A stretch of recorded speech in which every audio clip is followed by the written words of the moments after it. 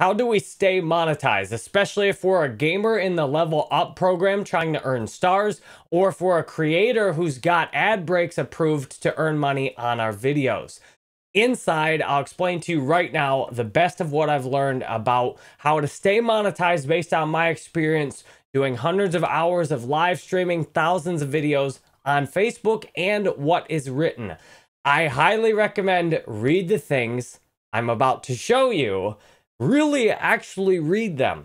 What I will learn is also based on watching people who've been demonetized, asking them questions about what happened right before you were demonetized. Ready? Let's take a look at this. What we've got in Facebook, we've got several different documents we need to read. So first, if you're in the Level Up Gaming program, on your gaming dashboard, there's a stars term link at the bottom that you can get to. This goes into your star streamer terms, which provides these two links, which are very helpful and critical to read to know what to avoid. This has a list bigger than what I'm going to mention of things you're not allowed to do. You also are not allowed to talk about how much money you've earned on stars or about these terms generally. So read these stars streamer terms in detail, especially these documents in number six. Let's go through and look at this document here. This is the community standards document. This is a lot, and I've read each of these many times, and it's up to me to make sure I stay on top of any changes because sometimes there can be things added. First, some of these are pretty common sense. Violence, you uh, understandably don't want a lot of violence on your stream. However, if you want to advertise even playing mature games, can get ads rejected.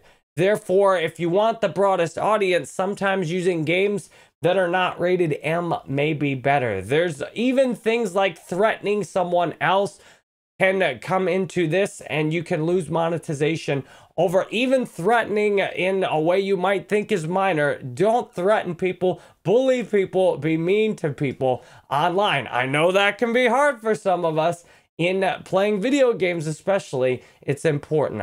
On safety if you even put the word suicide in your post you are likely to get less reach on it.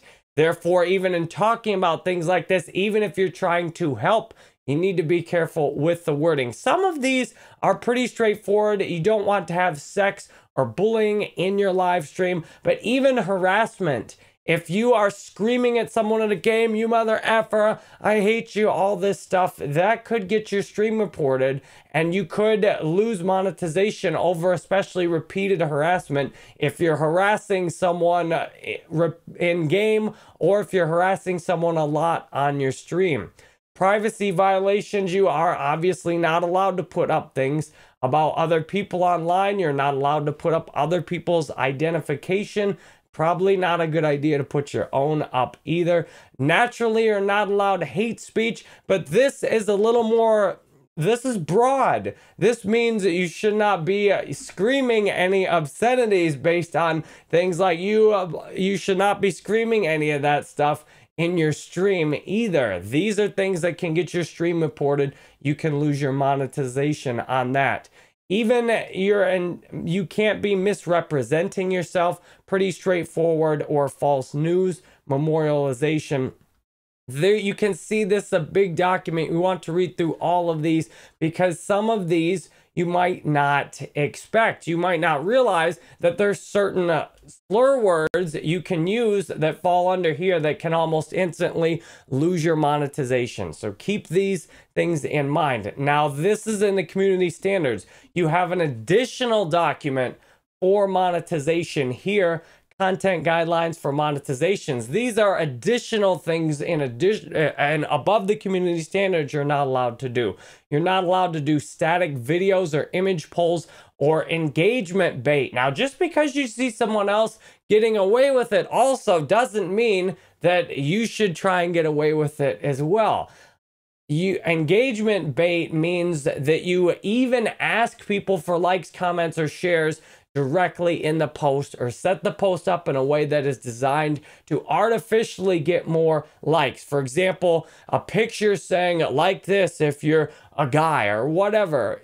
you avoid doing anything like that in the post. Now, in your live video itself, you can ask for people to like the post or comment or share, but do not ask for it directly in the post. You also are not allowed slideshows of images, looping videos, text montages, manufactured sharing, or limited originality of content. Meaning, if it's not yours, especially, or if it's just something you copied from somewhere else. There are also these restricted categories and uh, the ones I'd like to point out, especially you've got objectionable activities, substance use. This even includes vaping. Do not vape on your stream. Smoke. Do not drink alcohol on your stream. Vandalism. I mean, theoretically, you could even smash something in your own room. Eh, again, the, there's a lot of leeway on this. Many of these are things that are reviewed by a human. So if someone reports your stream, it's up to whoever is watching or reading that report to make the decision. However, there are some things that are very easy a strong language. These can be done completely with automation. Every single streamer I've seen who was complaining about having their stars removed had strong language. Every single one. And often it was not even people that themselves as much as the people they were playing with. I watched two different streamers. There were a ton of uh, F words, just maybe 50 or 100 F words in a relatively short amount of time I watched. Very easy to see. That can be done with an automated report. Someone literally reports it. Facebook takes an automatic transcript of that live stream and can easily see the amount of F words is a lot in that stream. I encourage no cussing at all. That's how I do my streams. No cussing. And it's not that you can't have one little word slip out here and there, generally, as long as it's not under the hate speech. You easily could have a word or two that comes out, especially if it's the in game characters you are not like you have to be absolutely perfect, but if you're repeatedly and the people in your party are repeatedly dropping F bombs and all kinds of derogatory words, slurs, sexual words, innuendos, crude gestures, vulgar motions, if that is going on repeatedly a bunch in the stream, then very good chance of demonetization on your stream. Also, this is a good reason why I do not allow anyone else on my party chat to actually be in my stream audio. It's only me. That way, if anyone else hops in the party and starts blah, blah, blahing, it's not going to affect my stream. This also, you have explicit content. So if you've got some nasty rash or a huge cut on your arm or something, I would not show that on the stream either. This can be one of those tricky things. Now, one thing I did not hit on that is very important in this is the uh, use of intellectual property. You uh, can get your stream taken down almost immediately for any copyrighted music, especially. Therefore, it's important to turn off the music in every single game you play. Yes, I understand. If you're playing a game like Fallout, that's a whole lot about the music and you want to have listen to the music, sorry. It's if you want to stream on Facebook, the way to copyright set up, absolutely no copyrighted music. The best way to do that is just to turn the in-game music off. You never know for sure which music in-game is copyrighted and which isn't. I always turn all the music off. Then I also have a kill switch a button I can click to instantly turn off the game audio or my own microphone in case for some reason music starts playing because you're not likely to have a problem if music just the first second or a couple of seconds of a song comes on. You're not instantly going to lose your stream. I was playing Call of Duty Black Ops 4 Blackout and someone hit a jukebox in the middle of the game for some kind of Easter egg, even though I had the uh, music turned off in my game and Avenged Sevenfold song just starts coming on. I'm like, are you kidding me? And I just immediately hit the game sound to kill the game sound right there and then no issue. A, a couple of seconds or so of the song played real quick. I just immediately hit the kill switch, turn the game audio off until the song stops playing. What you do not want to do is play an entire song or any significant length of a song, I'd say more than six plus seconds straight in a row, because this is done algorithmically. Meaning, if your audio matches a copyrighted audio file that Facebook has, then that's an easy automatic takedown of your stream. Make sure do not use copyrighted music anywhere in your stream and turn off all the in-game music because a lot of in-game music is copyrighted.